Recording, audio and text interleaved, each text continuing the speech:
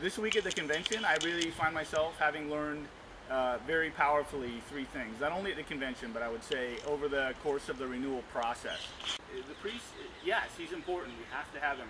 But in a way, his role is more like air support. And really, we're the ones that are bringing the light of the gospel into the very real things around us, into our profession, into our family, into our, our neighborhoods.